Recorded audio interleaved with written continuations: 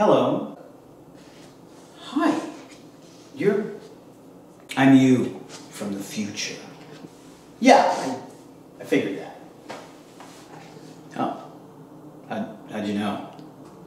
Well, you, you look exactly like me, except you, you've got a mustache. Right, right, right. Yes. You like it? I guess I will. No, you won't. But the wife likes it, so. Oh, great. We're still married, Becky and I. Yeah, but I, I meant wife number three likes it. Three wives? Four, actually, but one of them was sort of an accident. How do you get married accidentally? I really wish I knew. I, I, yeah, yeah. Yeah.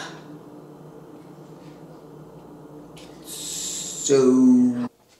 Right, yes! I have traveled back in time with a warning. A warning? A dire warning. To save you from making the worst mistake of your life. Oh no, we don't accidentally get married again, do we? No. Well, then, what is it? Don't eat the bacon. I'm sorry, come again? You have bacon in your fridge? Yes. Yeah, don't eat it. I'm sorry. You traveled back in time from the distant future to warn me not to eat some bacon? Actually, it wasn't. It wasn't that much in the distant future. Well, how, far into the future have you traveled back from? Tuesday? Next Tuesday. Yes. Wait, they invent time travel between now and Tuesday? Well, they wanted it out for summer, you know, kids.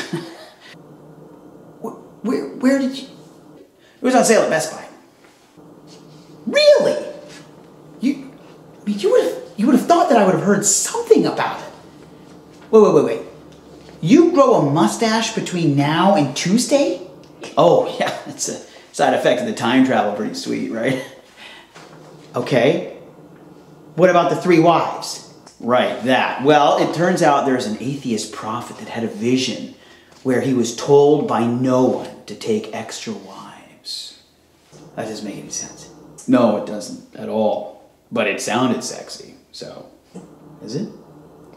No, no, they mostly just gang up on me.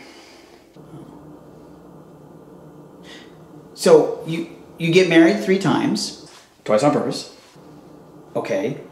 You you buy a time machine, grow a mustache, and then use your first trip back through the fabric of quantum space to warn yourself not to eat some bacon. It is really bad bacon. Okay.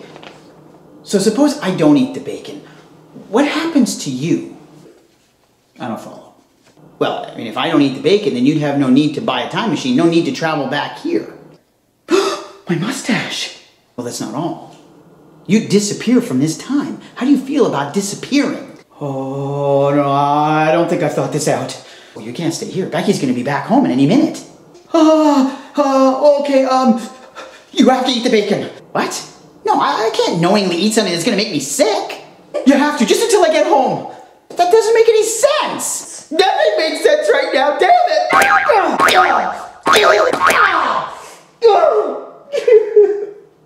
I'm sorry. I'm sorry. I'm just kind of freaking out right now. Look, I, I guess I can eat a little bit of bacon. Yeah, just enough to make me a little nauseous. Yeah, just enough to make you a little nauseous in the hospital. What? Go, you gotta eat it. I don't want to disappear. Pull yourself together. Fine, fine. I get stupid bacon, but you owe me big time. Anything, anything. I'll do anything you want.